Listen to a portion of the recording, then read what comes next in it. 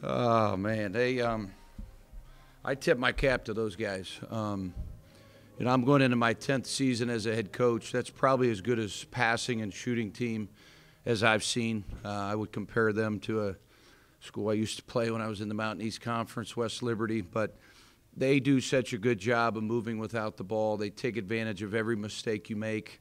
To beat a team um, the way we did after we made 17 threes, it's almost indescribable. Um, I give our guys a lot of credit. They stayed the course. You know, Garrett going down is, is could be a major major loss. Um, tragic. Uh, you know, they're they're he's at the hospital now, so we're kind of waiting to see what the word is. But um, you know, I give our, our young guys a lot of credit. Michael carried us, of course, as a senior. He was awesome. He's been great. Um, I think you guys can see the improvement in him. Um, you know, we run everything through him and Garrett uh, pretty much, so we're going to have to change our plan of attack. But, you know, you got to get the first one in these tournaments. You know, the first one is the most important.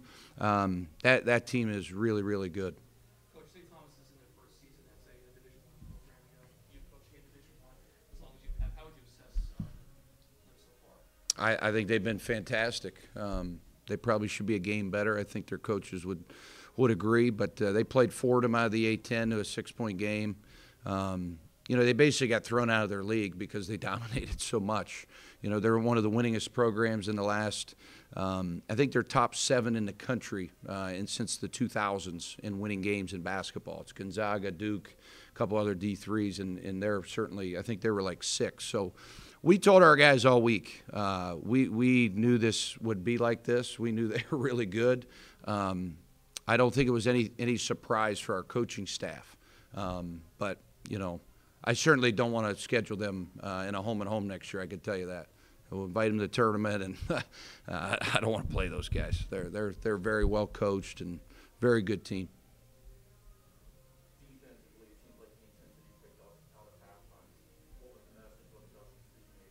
Well, I think we finally slowed down a little bit. Um, you know, when you're playing a team like that that that moves you, they, they're so well coached on offense. Their movement, their cutting, their reads, they run brush cuts, they run flare screens.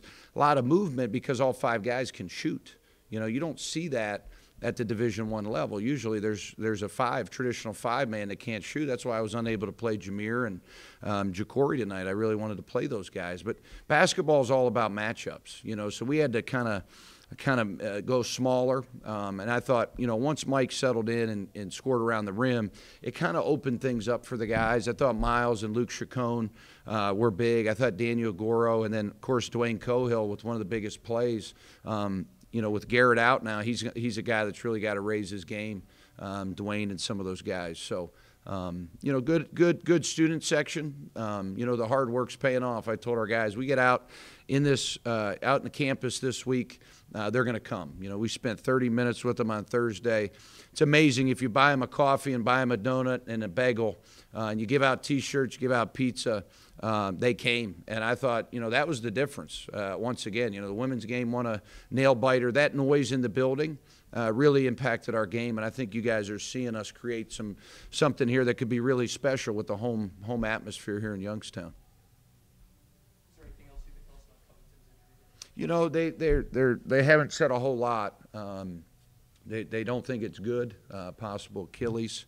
Um, you know, I watched the play at halftime, and I, I think he either tangled up with somebody, um, hit somebody's leg, but it, it did not look good because he went down right right away. And Garrett's, you know, eh, Garrett's one of the first guys um, we recruited when we got here. You know, it was him, Naz, and Mike. Those kids believed in us when nobody really did. Um, and I, I can't describe how um, I feel for that guy right now. It's tough.